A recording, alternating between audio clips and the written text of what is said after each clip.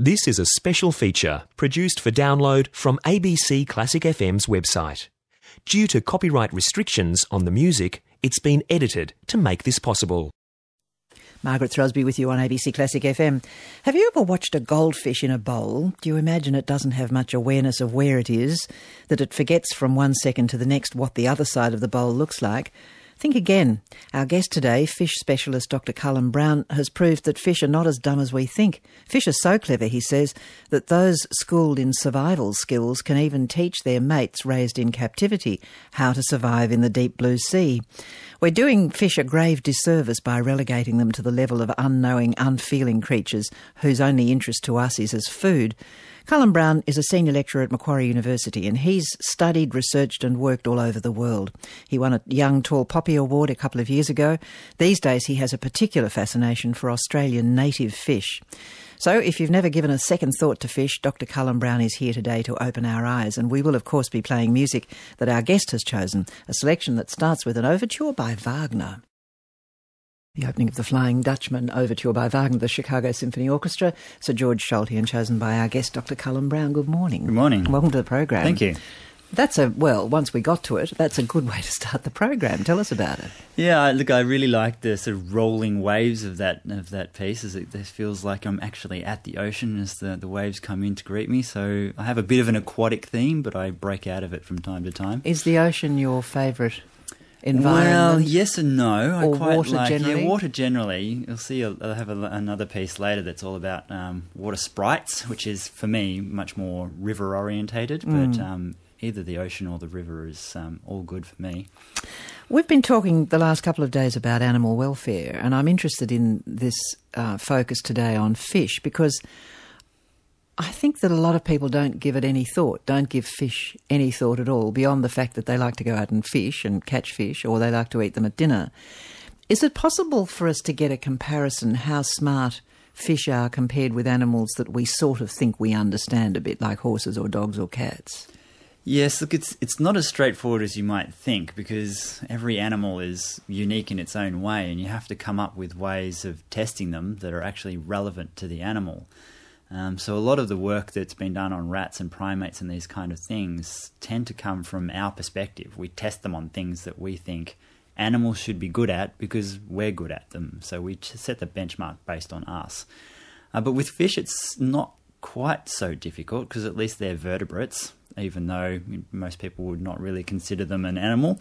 Um, which They is are tragic. animals, though, Of aren't they? course, Hmm. yes. But um, the number of vegetarians you speak to that eat fish is kind of scary. Um, but look, we we do general learning.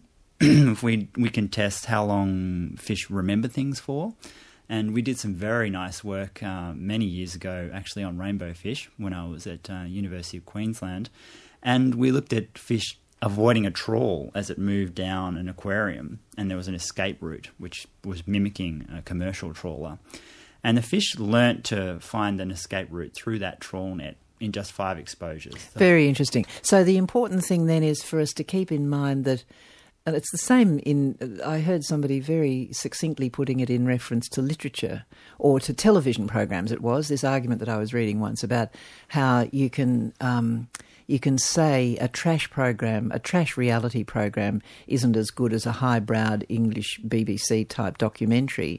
But if you compare documentaries with documentaries, then you're doing the valid thing, and you compare right. Yeah.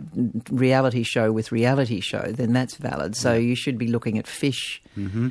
different from. You shouldn't be saying, well, they're not as smart as dogs, for instance. Right, and um, it's very difficult to compare those sorts of things. It's like comparing apples, apples with- and oranges. Yeah, exactly right. Yeah. What sort of brains do fish have? Well, they're very similar to ours. Um, they develop slightly differently. Do they have Um, hemispheres? Yes, exactly the same as ours. So we have left and right hemispheres, and we've been working on lateralization and laterality in fishes, which is how they use one hemisphere over the other.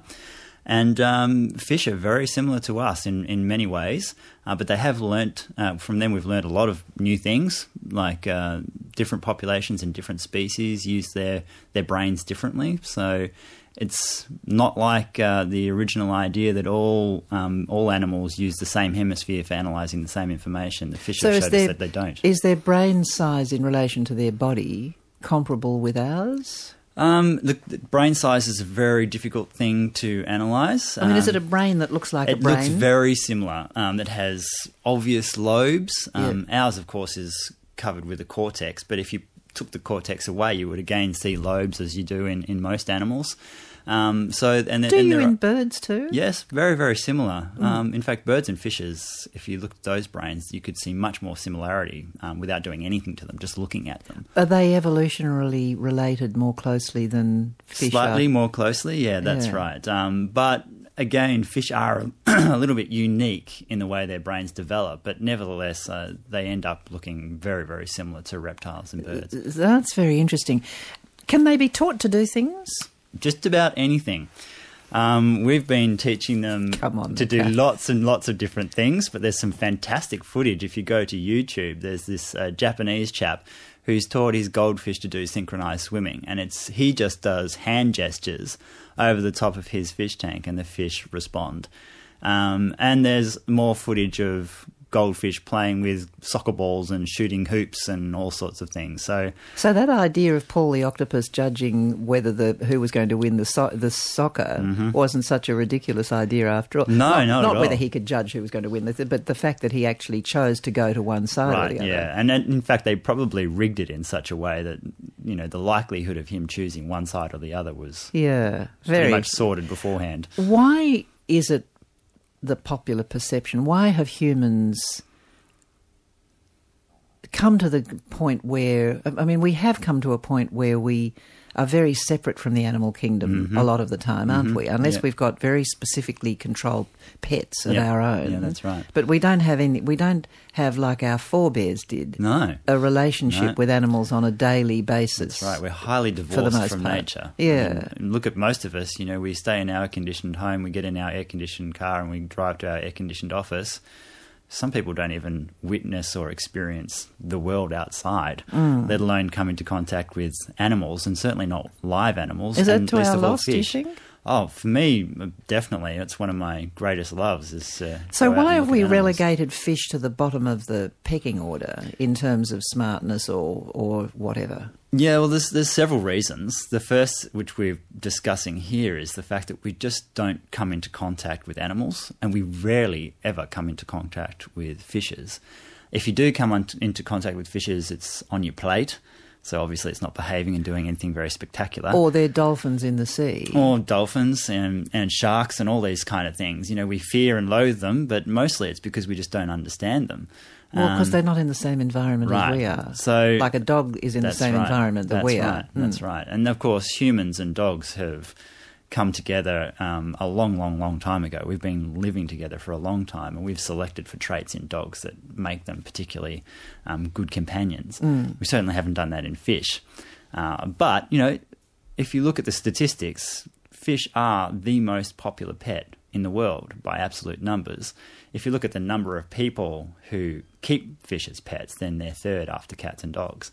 So, as a companion animal, they're still extremely popular. And probably that's because they're easy, because you just stick Quite them, in a, right. stick 'em in a bowl of water and feed them every day, and that's yeah. it. And if Goldie dies, it costs you a dollar fifty, and you can buy another one. And if Goldie dies, you don't have much attachment to it unless you're three years old and you're very attached Exactly to it. right. But adults don't. I mean, they just say, "I'll get another one." Yeah, exactly, yeah. Whereas a dog, it's really interesting to start thinking about this. Mm-hmm. Dogs, we develop intense affection for, Mm-hmm. and they're part of the family, and they have their own cemeteries and things like that. I mean, we've anthropomorphized them to that, that Yeah, extent. yeah. But we feel incredible emotion when something happens to them. That's them. right, yeah. A goldfish, get another one. Yeah, exactly. Yeah, it's a it's a very strange attitude, and it's not one that I share. I had goldfish and, and, and pets for most of my life. Everything from guinea pigs to cats and dogs to goldfish to axolotls, you name it, I had it. But for me, when my goldfish died, I really suffered, and I did the whole burying ritual Oh, really? in the backyard. Yeah, I know some people do that. But so you developed a. I mean, you you developed some kind of relationship with yeah, your. I had great empathy with, with animals, um, but with fish, any animal really. The thing about fish is that fishing as a pastime Mm-hmm. is the most. Well, they call it a sport. Is Yeah. the most popular sport in Australia. It's extremely popular, and the angling societies have a big political pull as well. Um, it, and it's quite interesting because if it seems to be highly acceptable that you can go out and catch fish and kill them, but you imagine taking your little kids off into the jungle to shoot animals. I mean, it would just be completely unacceptable. Well, you can do it because you think they don't feel pain. Exactly, yeah. And this business of, I've always had problems with people catching fish and then throwing them back because they're too small. Mm, yeah.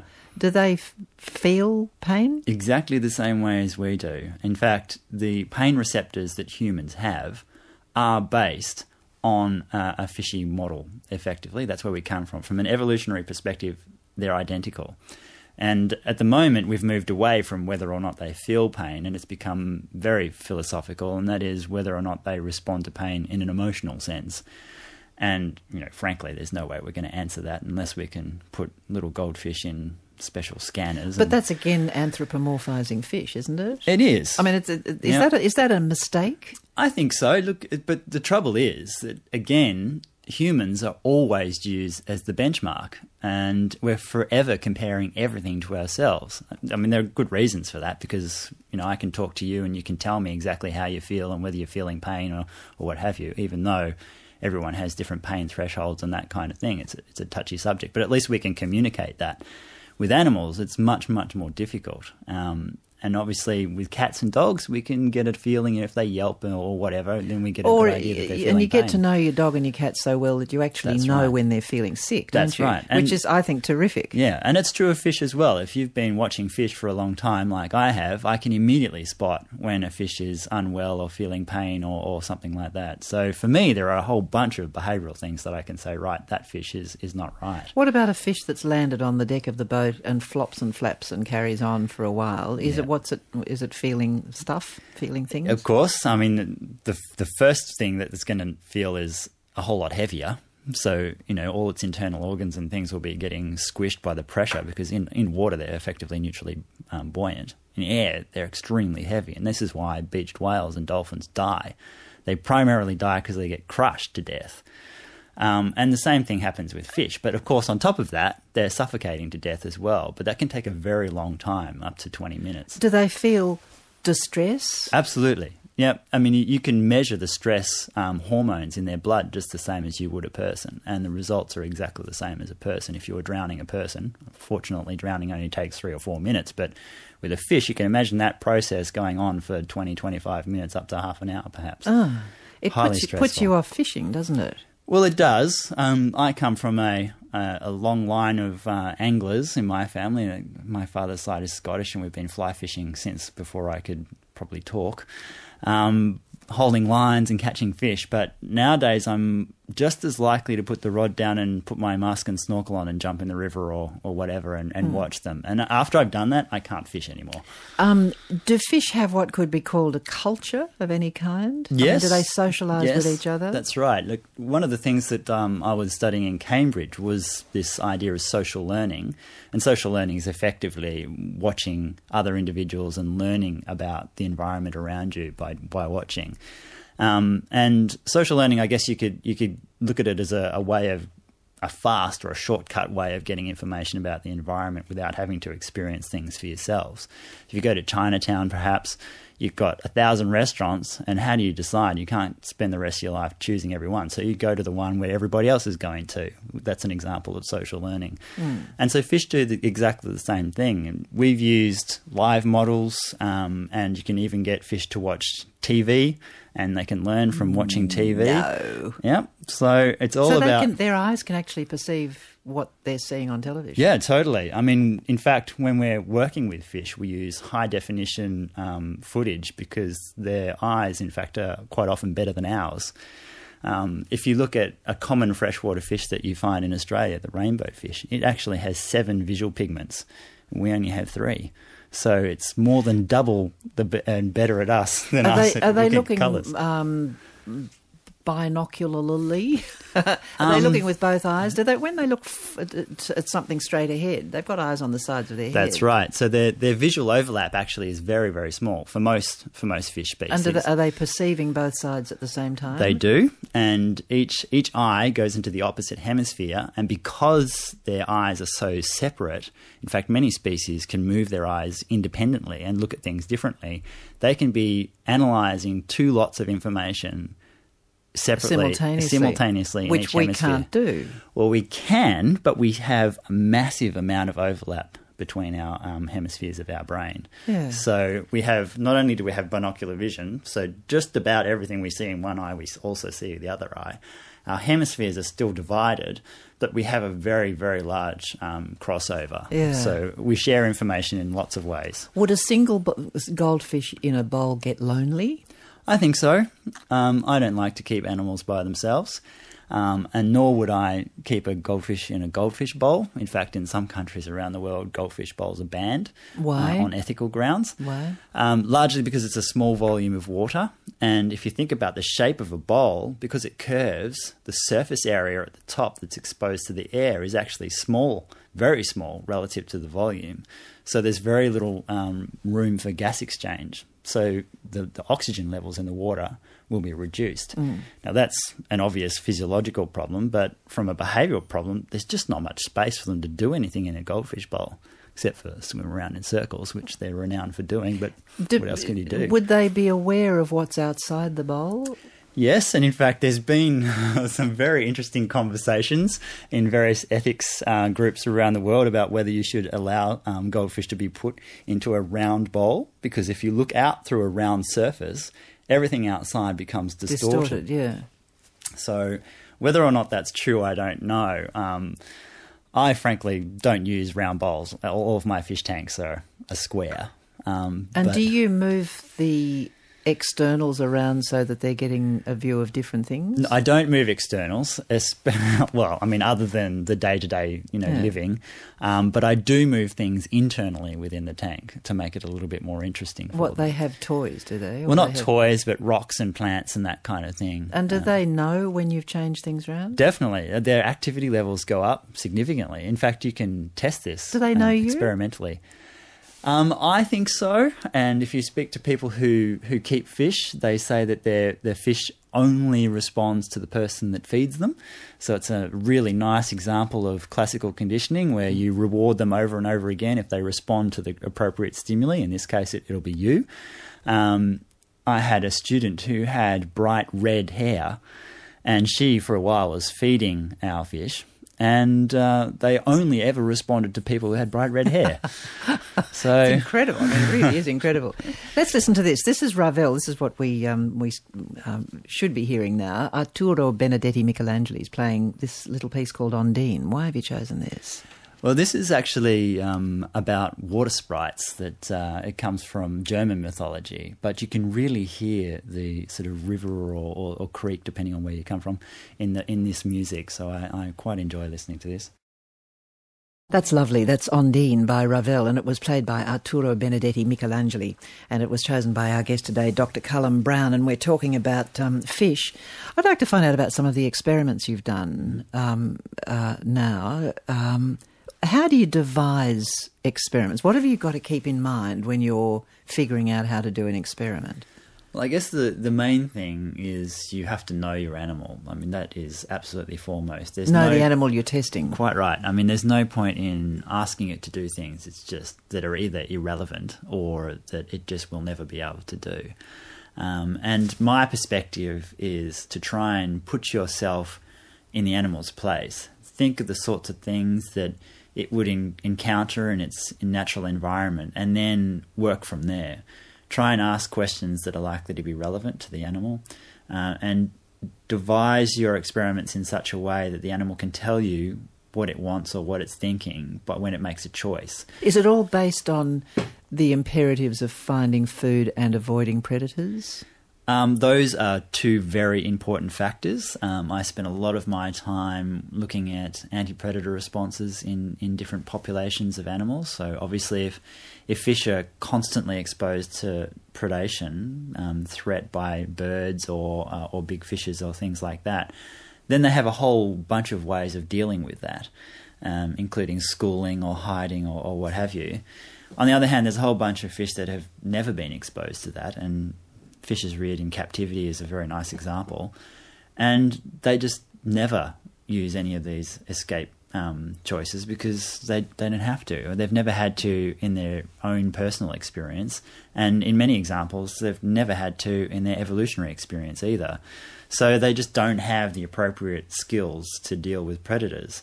Uh, and so this is why moving animals from one place to another, as we often do, even as part of our um, recreational fishing, where we rear fish in hatcheries and translocate them and, and put them into new river systems to catch them, that's exposing all those native animals in that system to this new threat that they probably will never have come That's why you again. can catch them so easily, is it? Sometimes there's no doubt that those um, fish are incredibly hungry because they've never learnt um, to recognise food or anything in, in the hatchery. They're often fed on pellets. Um, internationally, that's a very common thing. If you look at salmon rearing and that kind of thing, which is massive both in, in Europe and in North America, it's all very, very commercial. In Australia, most of our fish are reared in a sort of semi-natural conditions where we put them in big earthen ponds. Yeah. So there's some natural food in that situation, but there are certainly no predators. Now you've seen uh, cluey fish teach uncluey fish. Yeah, that's right. Tell me how they do that. Um, well, learning is a very normal thing for most animals to do, and fish are quite capable of doing it, just like anything else. So they are exposed to something, and then they change their behaviour in response, so that you know they can avoid predators in the future or find food more efficiently. Normally, they do that um, by themselves, but fish are very social animals. I mean, everybody's seen those amazing um, maneuvers that schools of fish can do. They're mesmerizing, just like a, a flock of birds. And so there's a They huge are amount. related, aren't they? Birds and fish. I mean, isn't it, isn't it well, true? everything is. Yeah, I know, but but closely related. Isn't aren't birds fish that fly? I mean, isn't Well, it? Well, birds are actually reptiles that fly, Reptiles that and fly, reptiles are really hard versions of amphibians, and amphibians are just fish that crawled out of the sea. So Yeah, so yeah, for me, from my perspective, everything's a fish just with you know fur or feathers or scales or, Or whatever. glasses like right, exactly. I could analyze everybody from a fishy perspective. Yes. Um, but look, because the animals are very social, and fish in particular, nearly every fish species spends some time of its life in a school or what have you. Uh, they spend a lot of time um, looking at what other individuals are doing of their own species. of their own species. Um, in fact, if you can use trained individuals, um, which we call demonstrators, to help them recognise what a predator looks like and how to respond, um, what food look like. How do you um, do this? How do you do this? well, you, you essentially train an individual to be a demonstrator. It might take 15 or 20 exposures. You say, look, this is where the food is, it's real, um, you can eat it. Because hatchery fish often have never seen live food before. In fact, when I was working in um, Finland, we exposed hatchery fish to a live worm for the first time. And instead of attacking it, they backed into a corner out of like, oh my God, it's moving. They've never seen anything like it. And they were terrified. and But after a while, after, you know, 10 or so exposures, they started to come up and investigate it and they weren't scared anymore. And of course, if they're hungry enough, they'll strike at these sorts of things. So eventually they do understand that this thing is edible. Um, and once you've got them doing that reliably, I mean, as soon as you put a, a live prey item in, they just absolutely nail it. So Yeah. it takes them seconds to, to attack. Now, if you take that individual who knows that that food is really tasty and you put them next to a naive individual who doesn't even have to experience it directly, they can watch through a glass partition.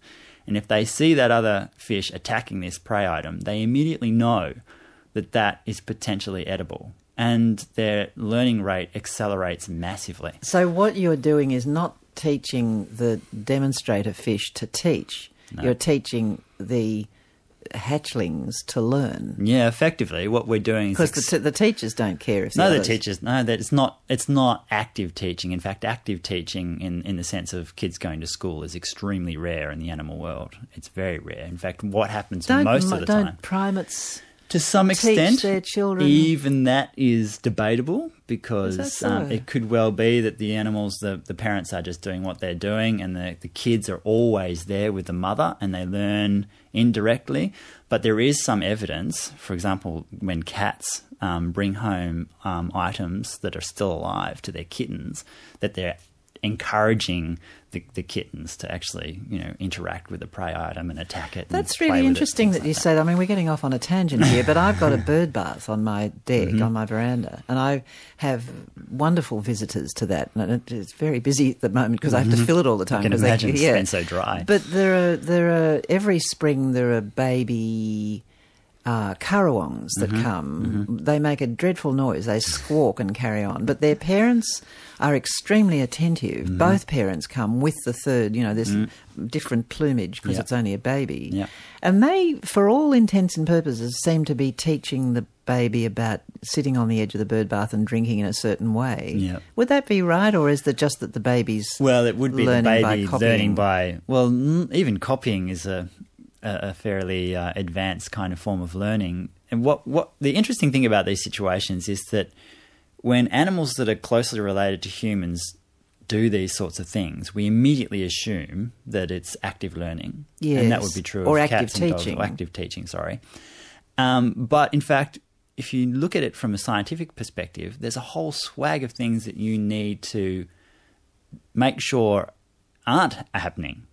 Things like this social learning process that we're talking about, that, that, that the behavior of the parents is changed in some way that you know allows the children to learn more quickly. Yes. Um, so you need to demonstrate that that's actually happening, and the number of times that that's actually done is very rare. It makes humans all the more particular, doesn't it? Because we do altruistically and actively teach. Mm-hmm. And Yeah, it's unusual. altruistic, actually. It's not Yeah. Mm-hmm. just our children. We'll teach other people's children Yeah, that's right, what to do. So there is altruism there, isn't there? Yeah, so they, you know, altruism is one of those words again that's very, very controversial Dodgy. because eventually the idea is that we get something back. It might be extremely remote, like just even the satisfaction of seeing the kid learn something. You know, you might get a flush of endorphins or something like that. So there Yeah. is a reward, um, no matter how indirect or small. Yeah. Oh, golly, it's an interesting area. I, I, really, I mean, it's fascinating. Let's listen to this. Now, this is um, something that's pretty important to you, and it's the Star Wars Yes, music. Tell me yes. about this. So I think I was about four when Star Wars came out um, in the cinemas in Australia, and I had never been to the cinema. Um, It was a good first. This was an amazing This was mum and dad experience. teaching you something very. Absolutely amazing experience, and to this day, my father still jokes about the look on my face as the, the music started up and the the big ships came into screen, and I still uh, have that sort of ti uh, spine tingling experience every time I hear this music. Okay, we'll try it again. Music from Star Wars by the late John Williams, and he was conducting the Skywalker Symphony Orchestra, chosen by our guest today, Culum Brown. And we've been talking about fish, but I want to know about your life. Will you tell us a bit about it? Because you've lived all over the place, haven't you? Yes. Especially in childhood. I'm not very good at staying still. Okay, so where Uh, were you born? So I was born in Hong Kong, and my father worked for a, an engineering, a medical engineering company. But we were essentially based anywhere in in Asia. But we also made frequent trips back to the states. So he's Australian, is he? He's Australian, but his family is uh, immigrated from Scotland. So they're the sort of the exodus when the, the coal system collapsed. And your mum? She's about as Australian as you can get. All right, so the two of them were living in Hong Kong when Yes, you were born. Were all your siblings born there too? No, um, I'm the eldest. And we came back to Australia briefly, and my sister was born. Then we went back to Asia, and my brother was born. And then we came back to Australia, and my other brother was born. I so see. We, we moved around a lot. And where else did you live besides Hong Kong? Um, we lived in Hong Kong. We lived in uh, KL in, in Malaysia. We lived in uh, the Philippines. We spent a little bit of time in Taiwan and Taipei. What's your memory of it all? Um, well, I was very young when we, obviously. I, in fact, I was probably shocked when I came to Australia. It was all Asia was very normal for me, but um, when I started school permanently in Australia, um, we used to fly over for extended periods of time, um, and I still remember being shocked at the the amount of poverty in these countries. You know, shanty towns of cardboard boxes and cast iron roofs and things like that. Whatever they could find, they were making buildings out of these things. So that for me was extremely eye opening, and that was a bit of a shock. Um, when we were living in the Philippines, we actually lived in a sort of compound that was surrounded by razor wire and men with machine guns. So that was always an interesting uh, uh, experience coming out and, out of this compound. And I, I remember going into some of the banks, and they had a special place at the front of the bank where you could deposit your firearm before you went into the bank. And I used to think, wow, this just is absolutely Amazing. insane. Yeah. um, but having said that, the wildlife and the reefs and the you know getting out into the villages and the traditional um, way of life is was just amazing. Where did you develop an interest in the natural world? It was mostly over there. Um, And encouraged by what or by whom? Well, when we when I was supposed to be at school, I missed big chunks of school because I spent time with my father. My mother eventually moved back to Australia because she was just sick of moving around and she had kids and all that kind of thing. Um, but when we eventually went over to visit Dad for extended periods of time, he nearly always took us somewhere special. An island off the coast of the Philippines or you know, some beautiful place, Langkawi or whatever. Um, and in that time, we were always in the water because it's always hot and sticky and disgusting over there. So you're in the swimming pool or you're in the ocean, one or the other. But when we were in the ocean, we had little masks and snorkels. And the fish life in, in these regions is just incredible. So I spent a long, long time when I was a little kid snorkeling around in these places. So I Translating that, though, that I mean, lots of kids have a nice experience by the seaside Mm-hmm. in their childhood. But what translating that into a life's work is interesting. So, what did you do at university, and where did you go to university? Yes, well, look, I was never very good at school because I couldn't sit still for long enough. I was one of those kids. Luckily, they didn't have any of those drugs for ADHD or whatever. They would have- they they would have dosed me for sure. Um, I I was much more interested in sport and all those kinds of things. And in fact, when I was going through my final year of school, everyone was thinking he's never going to get anywhere. Um, luckily, I went to a very nice private school, so the fact that I was just about failing everything in that school put me above the bar everywhere else. Uh, I think they did it deliberately. Um, but I did manage actually to do quite well, particularly in biology. I got way in the 90s for biology, which was about the only thing I was really interested in anyway. Um, and I did it okay in everything else. Is it true you were dyslexic? Yes, hopeless. What does that mean then? Well, for me, I'm not. I'm not extreme. So, um, growing up, I had a lot of trouble differentiating numbers and letters. I used to get things back to front all the time. Mirror images was I could read upside down as well as I could, you know, the right way around, and all these kinds of things. Are you ambidextrous? Did I read yes, somewhere? that's right. Yeah, I, look, I, I'm not extremely competent with my left, but I'm quite happy to compensate. I can kick and throw and everything with my left as, almost as well as my right. Do you play tennis with your left? No, I, look, if I have to play competitive sports, I'm nearly always favour my right. Do you write with your right or your Right left? with my right, Can I you can write write with your my left? left. Can yes. Wow. What does that tell us then? What does ambidexterity tell us? Well, it probably means that I could be smarter if I wasn't ambidextrous, because basically it means that the your hemispheres, both hemispheres of your of your brain, are controlling to some extent both sides of your body. So you, you don't specialize in one side or the other. Are you one of those people, and I've got a friend who's like this, who, if you're a passenger in the car and you're giving directions and you say turn right at the next and it's really a left, are you. I, I don't know left and right. And that my partner kills me when we're trying to do. I have to point one way or the other, otherwise I just have no idea. I've got a friend like that, and it's hopeless driving. in Yeah, the car with- absolutely hopeless. and it's the same as she's giving me directions. She needs to point because I just don't have a clue. That way. Uh-huh. Yeah. Okay. Mozart variations, the uh, the lovely Twinkle Twinkle Mm-hmm. variations. Why are we hearing this? Well, this is one of those songs that um, my daughter, who's 18 months old, um, really, really loves. And she's only just started to say Twinkle Twinkle, which is very cute. Is she ambidextrous too? She is at the moment, but that's a natural part of early development. All right. So she'll choose a hand one one day, probably right-handed. I think she'll go that way. Um, but she definitely loves Twinkle Twinkle, and some of these variations are really beautiful. So let's hope that everybody likes them.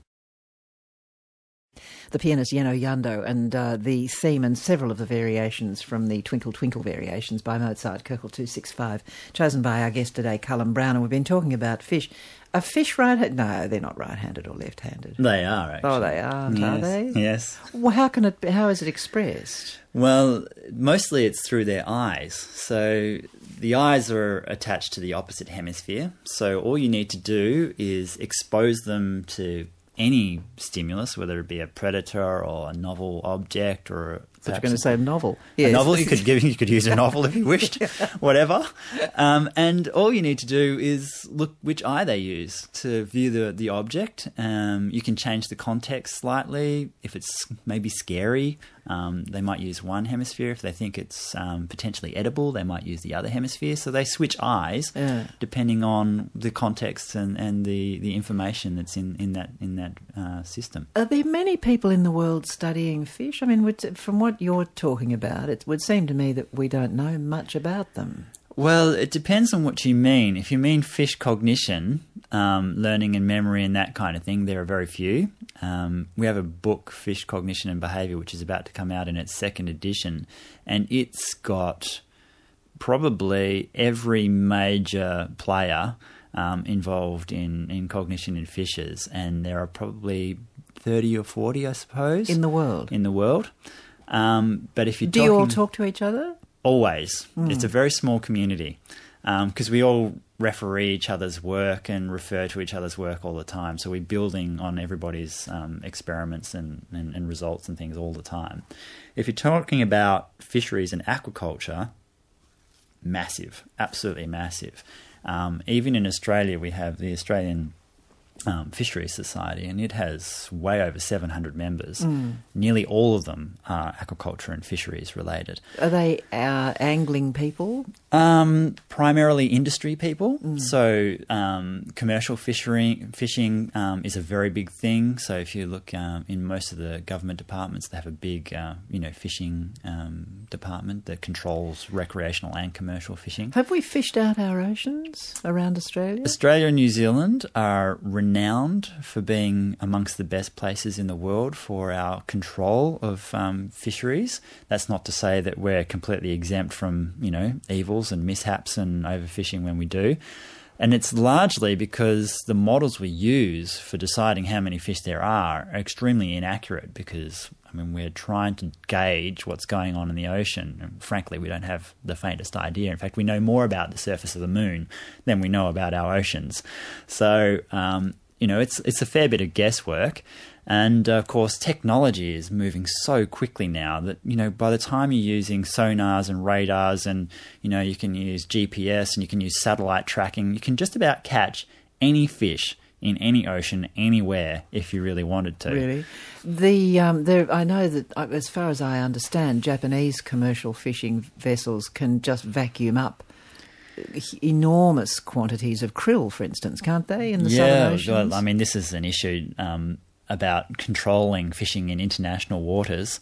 Um, Australia, at least, is more or less in control of their um, ocean. I can't remember How how, far many. out nautic- does it I think go? it's it's some number of nautical miles, two hundred nautical miles. I think it is off the coast. beyond the shelf, where the sh- shelf. Yeah, so away. I mean, this is why you get a lot of um, disagreements over tiny little islands because you think, Mm-hmm. why would people fight and start wars over tiny little islands? Well, nobody cares about the land. It's the fish It's the 200 nautical miles around the land that's important. How many? Yeah, I know you've got a particular interest in Australian native fish. Mm-hmm. How many species are there? Wow, that's a good question. In fact, Australian native um, fish fauna is extremely depauperate because we don't have a lot of water. Uh, I'm going to guess somewhere about 120 species, 130 And are 130 they all species. understood and, and written up? No, in fact, at this very moment, I've got a population of rainbow fish that I collected just in the hinterland of Cairns, and it's a new species. Um, and all we did was go to the river, put some traps in, catch them, and no one's ever worked on them before. So Really? you could go to virtually any um, river system in that kind of area, in the tropics in particular, and you'll discover something that nobody's ever seen or worked on. Would the fish around the barrier reef have suffered in the cyclone? Definitely. Uh, The corals certainly. The did, coral as far as I certainly, um, and whether it's directly or indirectly, the fish themselves in the in the initial impact would have been fine because they would just swim down to the bottom and get amongst the coral and that kind of thing. So the initial impact will be fine, but anything that impacts on that ecosystem in the way that it will. Um, the initial impact of the, the surge and the, and the storm and that kind of thing is the first thing, but associated with that is a massive amount of rainfall and destruction to the land, that and the things flows that- into the sea. Exactly. So the mm. big thing that's going to be a problem for the reef is actually all the detritus and all the mud and silt and sediment that comes in from the land and mm. settles down on top of the coral because it will smother it. So the coral will be damaged initially. The the sediments may come in and smother it to some extent, and anything that lives or feeds in that environment is going to be affected eventually. I could go on asking you about fish all day. I find it the most intriguing subject, but I think we'll have to finish there. I don't think we've got much more time. So, but we and we do want to listen to the last piece, which comes very appropriately from La Mer by Debussy, the third movement called "Dialogue of the Wind and the Sea." Is this old-time favourite music of yours? Yes, this is um, something that I always listen to, and it's mostly because, again, you can really hear the ocean. Um, uh, this is one of the things I think is amazing about music the way you can reproduce natural and we can actually sit there and pretend that we're sitting by the sea. The dramatic music from La Mer by Debussy, the Cleveland Orchestra conducted by Pierre Boulez, the final choice of Culum Brown, who's a specialist in animal cognition from Macquarie University. Now, Rosamund Bartlett is uh, an author of a book called Tolstoy, A Russian Life. She is a, not only a writer, she's a translator and lecturer. She specialises in cultural history and literature and music. And there are strong connections in the life of Tolstoy with music. He, um, he knew uh, Mussorgsky, for instance, he met Tchaikovsky. But it's a most interesting book. I've read it and I'll be talking about it to Rosalind Bart- Rosamund Bartlett tomorrow. So that's Wednesday morning. Now it's time for the news. This feature was produced by ABC Classic FM. You'll find more audio of our programs, along with special features for download, on our website at abc.net.au slash classic slash audio. This is a